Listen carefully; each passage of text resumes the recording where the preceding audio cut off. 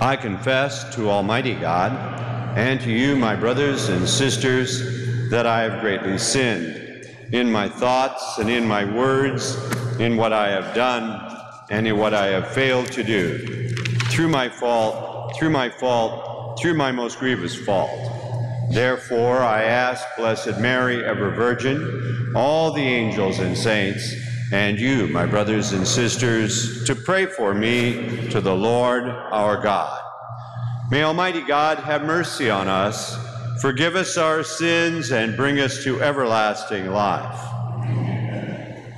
Lord, have mercy.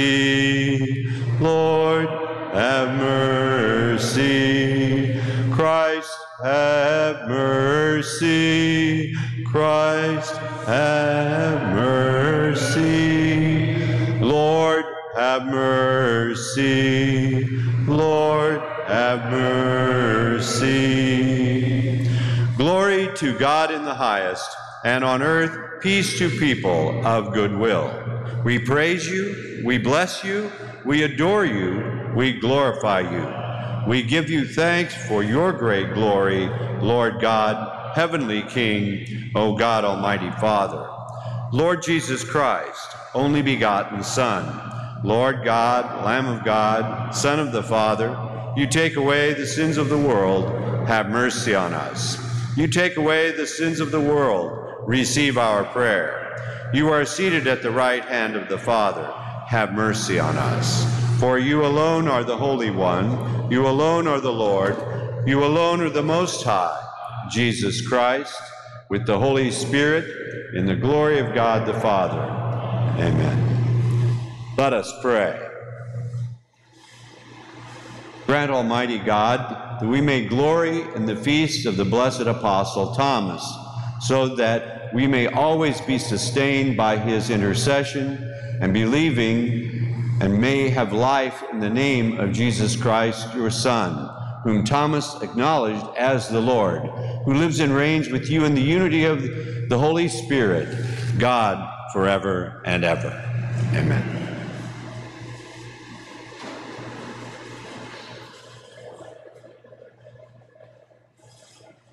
Reading from the letter of the Apostle Paul to the Ephesians. Brothers and sisters, you are no longer strangers and sojourners, but you are fellow citizens with the holy ones and members of the household of God, built upon the foundation of the apostles and prophets, with Christ Jesus himself as the capstone. Through him, the whole structure is held together and grows into a temple sacred in the Lord. In him you are also being built together into a dwelling place of God in the Spirit. The word of the Lord. Thanks be to God. Our psalm response is Go out to all the world and tell the good news. Go out to all the world and tell the good news. Praise the Lord, all you nations. Glorify him, all you peoples. Go out to all the world and tell the good news. For steadfast is his kindness for us, and the fidelity of the Lord endures forever. Go out to all the world and tell the good news. Alleluia, Alleluia,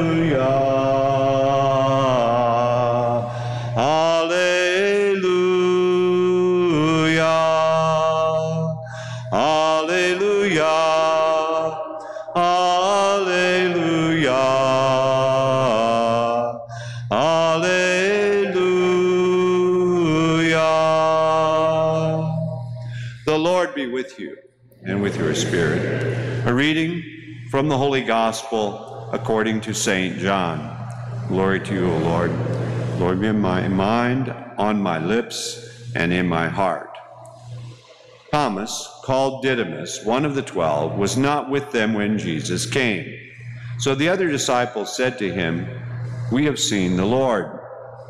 But Thomas said to them, Unless I see the mark of the nails in his hands, and put my finger into the nail marks, and put my hand into his side, I will not believe.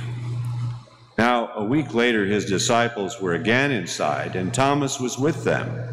Jesus came, although the doors were locked, and stood in their midst, and said, Peace be with you. Then he said to Thomas, Put your finger here, and see my hands, and put your hand, and bring your hand, and put it into my side. And do not be unbelieving, but believe. Thomas answered and said to him, my Lord and my God. Jesus said to him, Have you come to believe because you have seen me? Blessed are those who have not seen but have believed. The Gospel of the Lord. Praise to you, Lord Jesus Christ.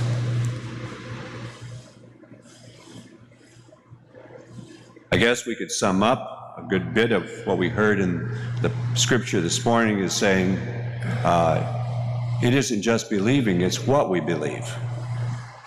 That's what I think the message of the gospel is getting at, because we can say, I believe, but what do you believe? And when we talk about, I believe something about Jesus, what do I believe? And so what we have in the gospel is an understanding that one, at first you could say the belief or the unbelief in Thomas was the fact that he didn't believe that Jesus rose from the dead. And that so he, and that it was really him, and that he didn't have the evidence to be able to touch and see and, and, and make that decision. And that that's what was believed, is he saw Jesus risen from the dead. Uh, but what he's, it says his belief ultimately is when Jesus challenged him, his belief is that Jesus is his Lord and his God. not just that he's risen from the dead, that, that's a signal of the immensity of who Jesus is. But Thomas recognized who Jesus was, his Lord and his God. Uh, and I think that's the struggle we have in life in general is pinpointing just what we believe. And when we come to believe what Thomas came to believe, uh, and it did help him to be able to see and touch, seemingly, uh, we manifest that reality in how we function, and St. Paul touches on that very thing as he speaks to the Ephesians, and it says that we recognize that Christ is the capstone of everything. And while the church is formed, uh, that in us individually and as a group, that it is built together and it is the Spirit dwelling in us. In other words, we're, we're different as a result. We're not just believers, but people can tell who we are. Uh, not by our talking, but by the way we conduct our life. And because there's lots of talk out there, you know, uh, there's soundbite talks and there's rants. But the reality is, are we at peace? Are we emulating Christ with our lives? Do we get deterred and discouraged, or do we persevere uh, as we face the tests and trials um, when people don't believe, uh, or whether people believe other things, uh, like you can make up anything as you want and call it whatever you want. Um, do we let those things tear at us, or do we realize and act like that we're at peace despite the fact that that's going on, and that we want our witness of our lives speak to those people. That's this all what we've been hearing this week, including this feast day, leads us to ultimately that message for this Sunday. And uh, in the scripture is getting at that very point of uh, how we respond if to faith that we continually are accepting every day, again and again and again. Not that we've got the stamp like that uh, from the ink pad onto our paper uh, of who we are, but that our very being is being transformed and the Spirit is welling up in us. And so that's the challenge. So what did the gospel or the uh, responsorial psalm say? Go out to all the world, tell that good news.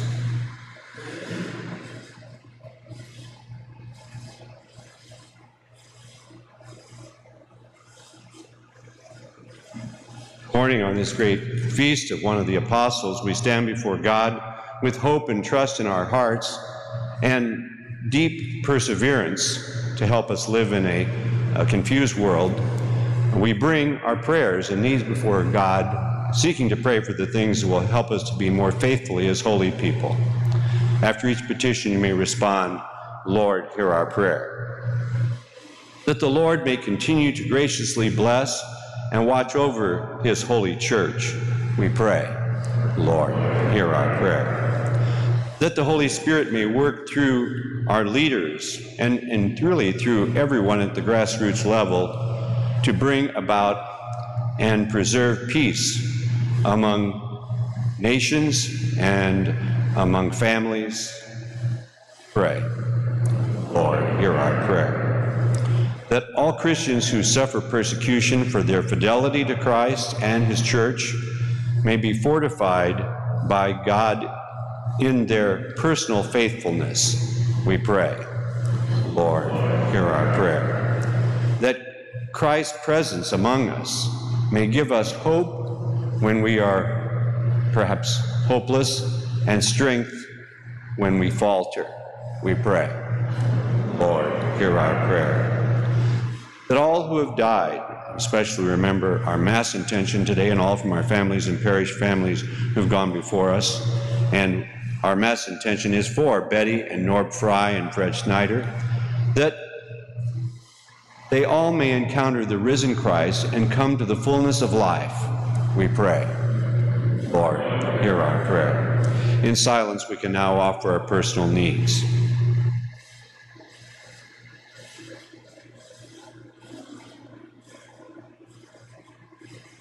For these needs and for all who hold St. Thomas as their patron, uh, whether it be parishes or individuals, we pray. Lord, hear our prayer. Heavenly Father, hear these our prayers and grant them according to your most holy will. For we pray in the name of your Son, Jesus Christ, who is our Lord and God forever and ever.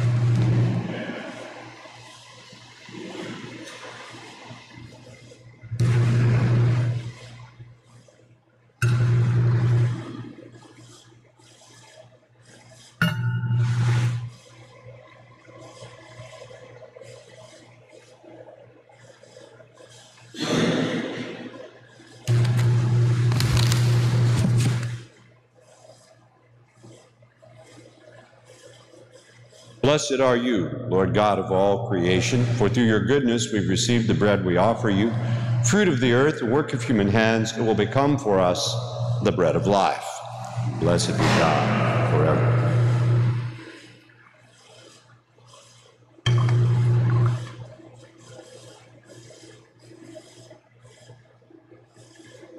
Water and wine we come to share in the divinity of Christ, humbled himself to share in our humanity.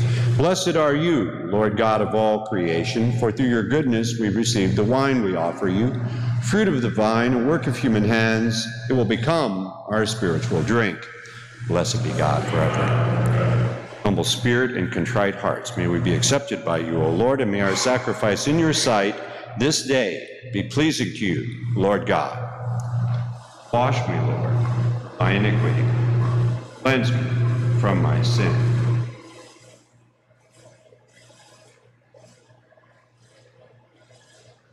And pray, brothers and sisters, that my sacrifice and yours may be acceptable to God, the Almighty Father. May the Lord accept the sacrifice at your hands for the praise and glory of his name, for our good and the good of all his holy church. We render you, O Lord, the service that is your due, humbly imploring you to keep safe your gifts in us as we honor the confession of the Apostle St. Thomas and offer you a sacrifice of praise through Christ our Lord. Amen. The Lord be with you and with your spirit. Lift up your hearts. We lift them up to the Lord. Let us give thanks to the Lord our God. It is right and just. It is truly right and just, our duty and our salvation, always and everywhere, to give you thanks, Lord, Holy Father, Almighty and Eternal God, through Christ our Lord. For you have built your church to stand firm on apostolic foundations, to be a lasting sign of your holiness on earth, and to offer all humanity your heavenly teaching. Therefore, now and for ages unending, with all the hosts of angels, we sing to you with all our hearts, crying out as we acclaim. Holy, holy, holy, Lord God of hosts, heaven and earth are full of your glory. Hosanna in the highest. Hosanna in the highest. Blessed is he who comes in the name of the Lord. Hosanna in the highest. Hosanna in the highest. You are indeed holy, O Lord, the font of all holiness. Make holy, therefore, these gifts, we pray, by sending down your Spirit upon them like the dewfall, so that they may become for us the body and blood of our Lord Jesus Christ. At the time he was betrayed and entered willingly into his passion, he took bread and giving thanks, broke it, and gave it to his disciples, saying, Take this, all of you, and eat of it for this is my body, which will be given up for you.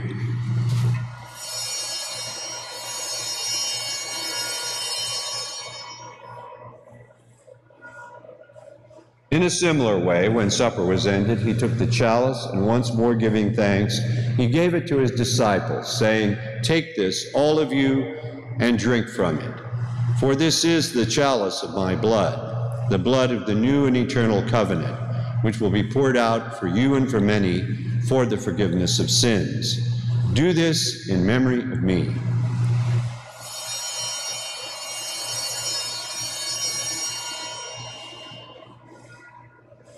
The mystery of faith, when we eat this bread and drink this cup, we proclaim your death, O Lord, until you come again. Therefore, as we celebrate the memorial of his death and resurrection, we offer you, Lord, the bread of life and the chalice of salvation, giving thanks that you've held us worthy to be in your presence and minister to you. Humbly we pray that partaking of the body and blood of Christ, we may be gathered into one by the Holy Spirit. Remember, Lord, your church spread throughout the world and bring her to the fullness of charity, together with our Holy Father, Pope Francis, Lawrence, our bishop, and all the clergy. Remember Betty and Norb Fry and Fred Snyder. Remember also all of our brothers and sisters who have fallen asleep in the hope of the resurrection, and all who have died in your mercy. Welcome them into the light of your face have mercy on us all, we pray, that with the Blessed Virgin Mary, Mother of God, with blessed Joseph, her spouse, with your blessed apostles and glorious martyrs, with Saint Benedict and Saint Scholastica, and with your apostle Thomas, that we remember today, and all the saints who have pleased you throughout the ages, we may merit to be co heirs to eternal life and may praise and glorify you through your Son, Jesus Christ. Through him and with him and in him, O God, Almighty Father, in the unity of the Holy Spirit, all glory and honor is yours forever and ever. Amen. Amen. Amen. Amen. Amen. Amen.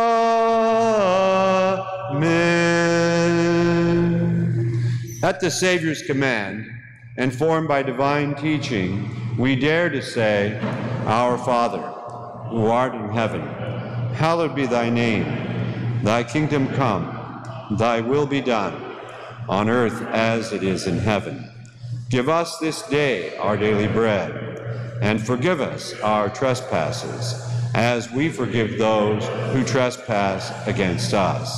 And lead us not into temptation, but deliver us from evil. Deliver us, Lord, we pray, from every evil. Graciously grant peace in our days, that by the help of your mercy we may be always free from sin and safe from all distress, as we await the blessed hope and the coming of our Savior, Jesus Christ. For the kingdom, the power, and the glory are yours, now and forever. Lord Jesus Christ, who said to your apostles, Peace I leave you, my peace I give you, look not on our sins, but on the faith of your church, and graciously grant her peace and unity in accordance with your will, who live and reign forever and ever. Amen. The peace of the Lord be with you always. We may now offer one another a safe sign of peace. Peace to all of you.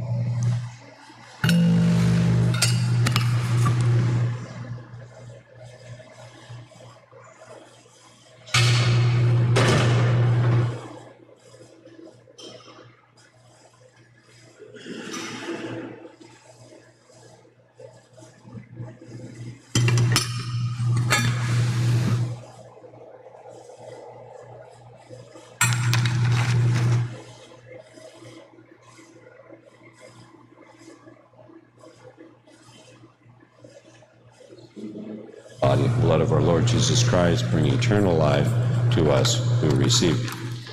Lamb of God, you take away the sins of the world. Have mercy on us. Lamb of God, you take away the sins of the world mercy on us. Lamb of God, you take away the sins of the world. Grant us peace. Giving of your body and blood, Lord Jesus Christ, now bring me to judgment and condemnation, but through your loving mercy, be for me protection of mind and body and healing remedy.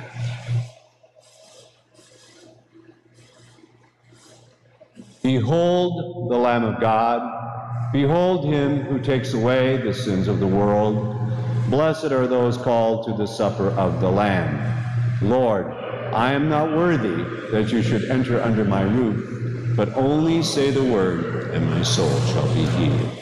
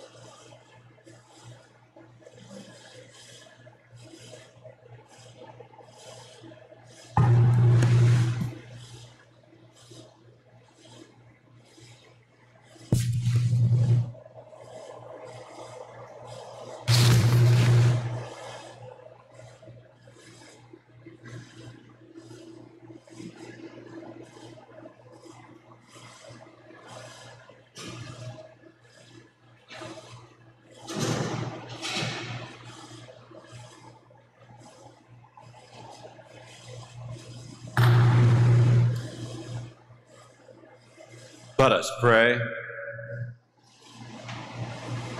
O God, as we truly receive in this sacrament the body of your only begotten Son, grant, we pray, that we may recognize him with the Apostle Thomas by faith as our Lord and our God, and proclaim him by our deeds and by our life, who lives and reigns forever and ever.